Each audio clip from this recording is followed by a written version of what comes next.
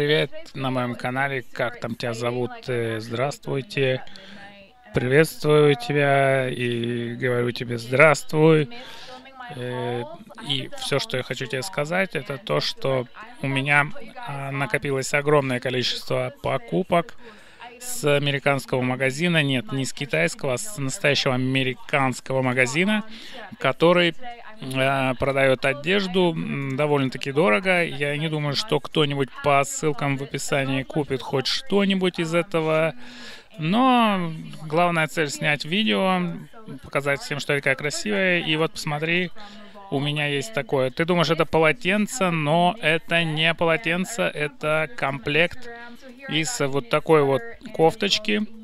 Можно ходить э, к Малышевой на передачу здоровья.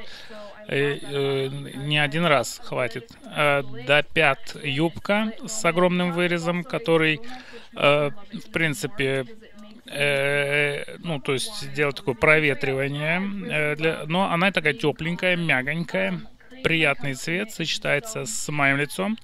И вот такая вот в клеточку кофточка, но кофточка не простая, а кофточка длинная.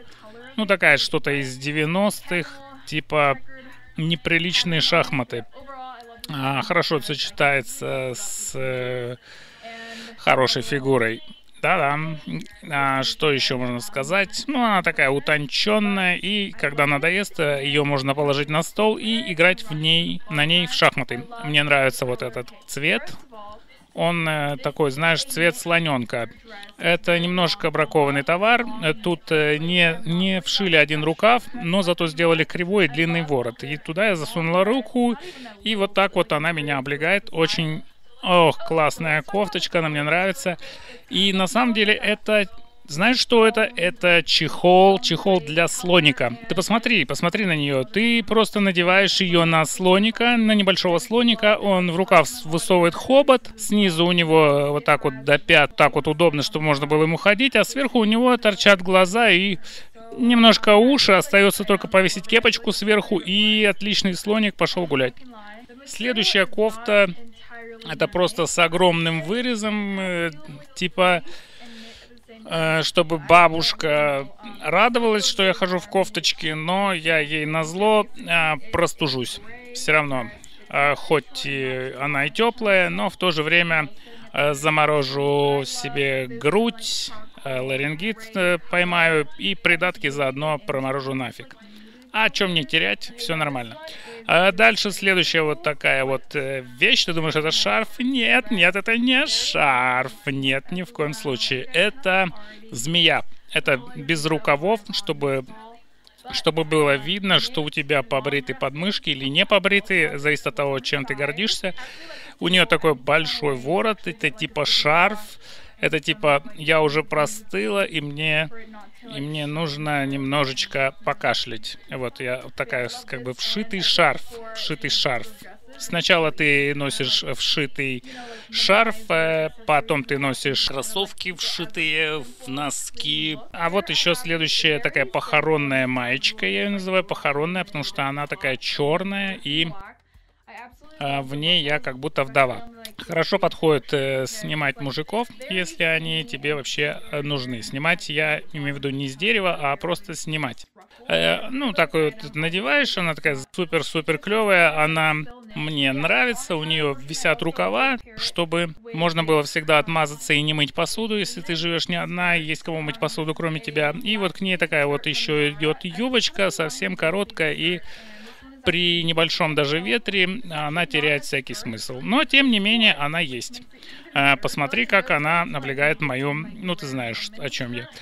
А вот такая вот кофта еще была куплена мною, ссылки в описании. Это кофта которую немножко передержали в растворе э, с хлоркой. И, скорее всего, ее сняли с бомжа. Да.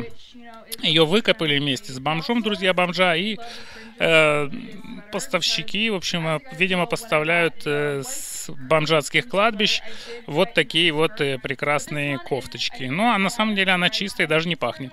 Вот еще у меня такая лягушачья лягушачья, она мне очень нравится, лягушачья э, шерсть. Я ее называю лягушачья шерсть. Вот она типа шерстяная, она типа теплая. И она мне нравится тем, что у нее такой неповторимый цвет, зелено-зеленый. Здесь посередине еще такая брошка, посмотри, обрати внимание, да, она как будто из рассказа про Настю Саблину, ее привел, при, принесла на хвосте ворона. Э, очень интересная брошь, она очень так даже великолепно подходит к этой кофте, да. Очень много шерстяного, даже запутаться можно, практически только цветом отличается. И вот еще в дополнение к той кофте, да, это тоже снятые из бомжа э, джинсы. Э, вот, посмотри.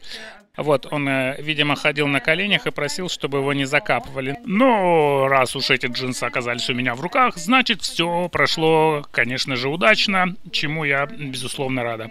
Э, здесь такая вот бирюзовая, бирюзовая шерсть с узорчиком таким, похожим на высушенных рыбок. Это такое, знаешь, она такая говорит тебе, я крутая девчонка, потому что у меня большие плечи, я такая за американский футбол всегда, я каждому мужику дам в лоб. Вот у меня еще и ключик такой висит специально, типа ключ от моего сердца.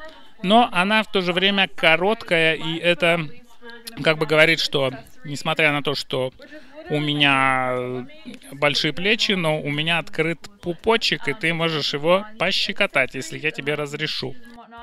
Еще вот такие вот сандалики от Nike, и они со специальной педалькой, чтобы их легко можно было снимать, как пробочку от пива. Раз так и снял. Там еще такой протектор, чтобы можно было ходить почему-то жидкому и неприятно пахнущему. И еще вот такие вот белые сапожки. Если их еще не все продали, э, они отлично сочетаются с этой длинной кофтой. Это такой привет, э, привет Д'Артаньяну. А, да, такие вот, э, они немножко д'Артаньянистые, немножечко отсосные, то есть отосные. А вот еще и анонист, э, то есть а, Арамис, Арамис, а, Д'Артаньян, ну, в общем, так еще, еще немножко не хватает сапог, и будет полная команда этих э, Д'Артаньянов. Да, они из крокодиловой кожи, эм, но крокодил здесь ни при чем. Несмотря на их цену, они э, экологичные, то есть крокодилов не убивали то есть э, можно ходить в них, э, в них ходить можно в зоопарк, и крокодилы не будут смотреть на тебя с тоской. Ну, в принципе, на этом я, пожалуй, закончу. Ты обязательно проходи и смотри, какие там э, сапожки. По-моему, остался десятый размер на момент записи видео. Ну чё, на этом, наверное, надо заканчивать это видео. Давай там подписывайся, ставь лайки, дизлайки. И тому, кто перевел, и тебе тоже.